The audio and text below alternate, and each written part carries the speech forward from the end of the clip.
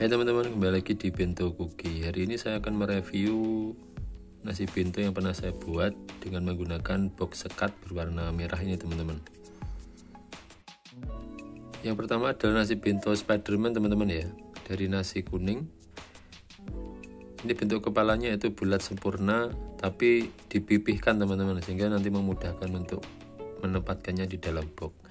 Dan Spiderman ini adalah salah satu karakter yang membuatnya harus ada kesabaran ekstra teman-teman karena menempelkan norinya satu persatu seperti ini dan dipotongi.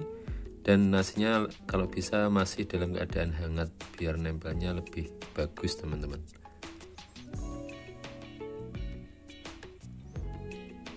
Dan kemudian kita tempatkan di dalam box. Kalau saya nasinya kalau seperti ini masih suka ditaruh di pojok ini teman-teman pas untuk nasi ini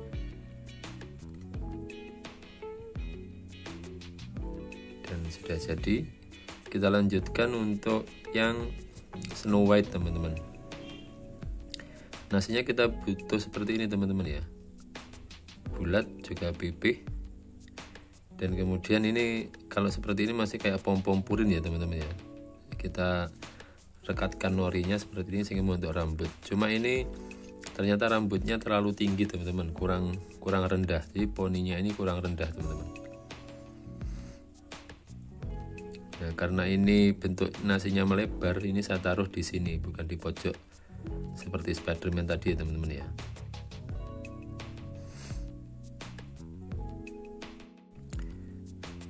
Ini pakai mayones teman-teman. Dan kemudian kita lanjutkan yang ketiga yaitu pussycat teman-teman ya ini nasinya masih tetap nasi kuning teman-teman ya. Bentuknya seperti ini. Ini sudah beberapa kali saya buat bentuknya seperti ini teman-teman. Cuma ini ternyata setelah saya lihat betul ternyata kurang besar teman-teman nasinya.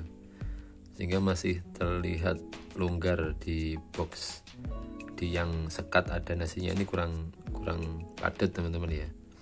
Jadi kalau dibawa kemungkinan guncangnya ini lebih besar. Jadi ini kurang besar teman-teman lanjutkan yang terakhir Sleepy Pussycat teman-teman ya. Ini nasinya sudah pernah beberapa kali saya buat seperti ini dan bentuknya seperti ini teman-teman. Kalau yang dulu hanya tiga bagian ini saya buat empat bagian sehingga badan tangan dan ekornya lebih terlihat teman-teman ya. Dan karena ini bentuknya mem memanjang memanjang dan porsi nasinya juga lebih banyak maka saya tempatkan di box yang uh, sekatnya paling lebar ini teman-teman. Ini ini pakai saus sambal saus yang instan yang sudah jadi itu teman-teman ya.